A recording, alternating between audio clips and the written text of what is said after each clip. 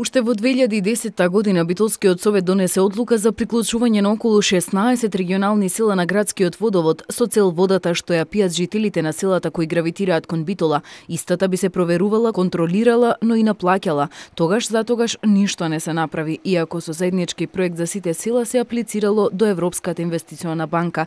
Обидот повторно се прави сега, по две години, но етапно на последната седница на Битолскиот совет поминаа проектите за четири села за водоснабдување. Кажани, селото Трново и Магарево, селото Брусник и селото Раштани.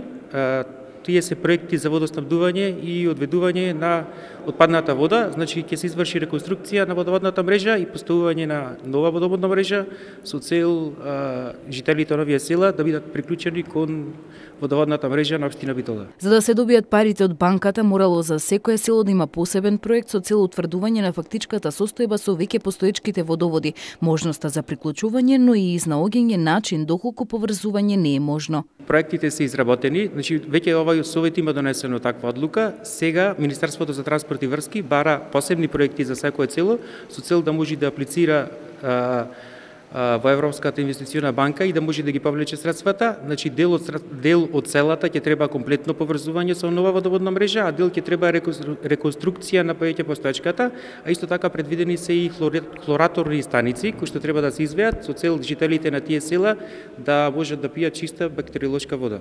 Директорот на водовод ја скенирал состојбата. И очекуваме да годинава и наредната година веќе се оди со имплементација. Значи ќе се решат онаму каде што има проблем со резервар, ќе се постави резервар, ќе се санира резерварот, ќе се постават систем за хлорирање, така да луѓето добиват е, чиста и здрава вода за пиење. Единствен услов кој што беа обврзани да влезат во овој проект е да утре други ден та за таа вода се плаќа редовно на онаа фирма кој што ќе одржува тој систем.